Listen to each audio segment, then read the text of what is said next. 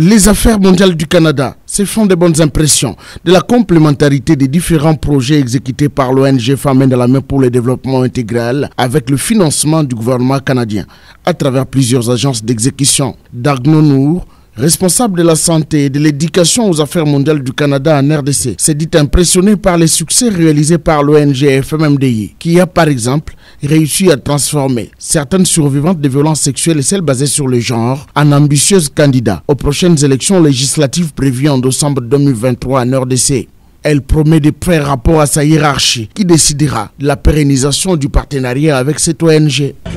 Euh, bon, moi, je vais faire rapport à comment dire, jamais supérieur quand je vais retourner.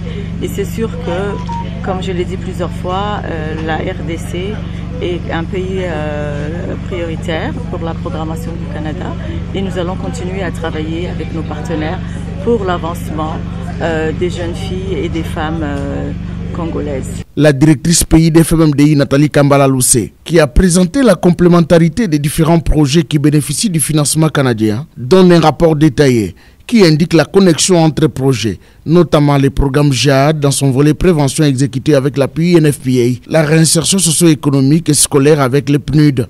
Après cet échange pédagogique, la délégation a été conviée à visiter les différents produits exposés, fruits de la résilience développés par les femmes et jeunes filles du Kasaï central. Sasa Studio, la communication au cœur de vos projets.